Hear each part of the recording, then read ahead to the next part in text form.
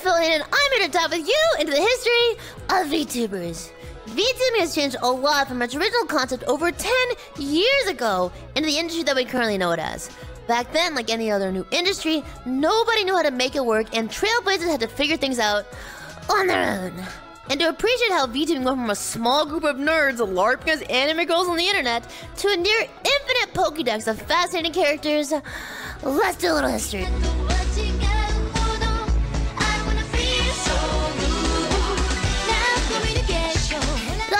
In 1996 with someone named Kyoko Date. The idea is for her to be a virtual idol instead of an entertainer, so not quite a VTuber as we know it today. However, the focus on idol culture carried into modern day VTubers, and even though it was cool, it didn't exactly spark a multi-million fan base from the get-go. Now, what really built the foundation of VTubing culture was a little someone named Hatsune Miku.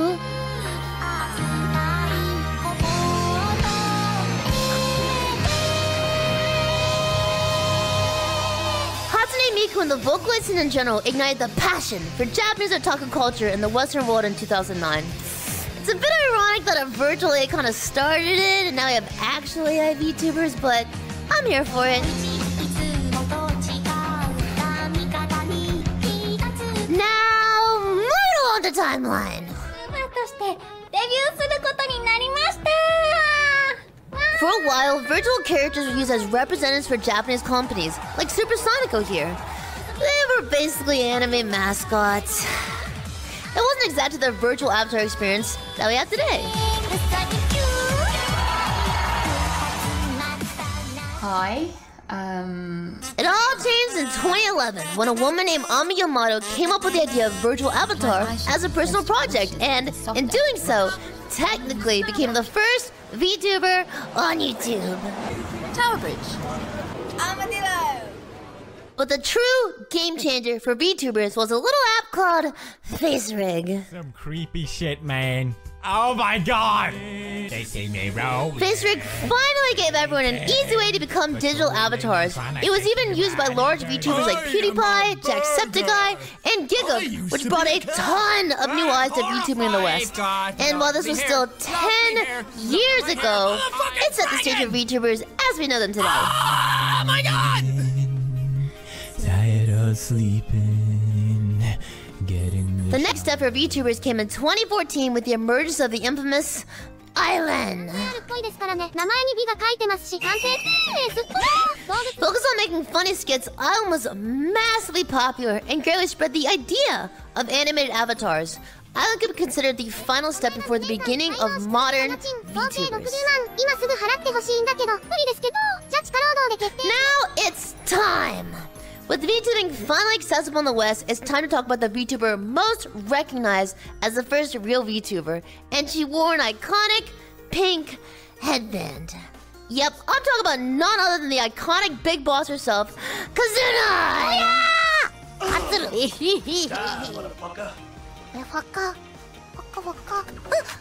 Creating our first channel in late 2016, Kizuna AI's content was short-form, scripted gags, but they quickly became a cultural icon for Japan with millions of fans, setting the stage for every other VTuber to follow.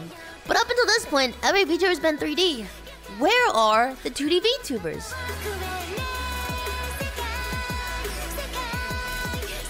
Well, in 2017, a company called Niji Sanji wanted to develop a face tracking app for the iPhone 10.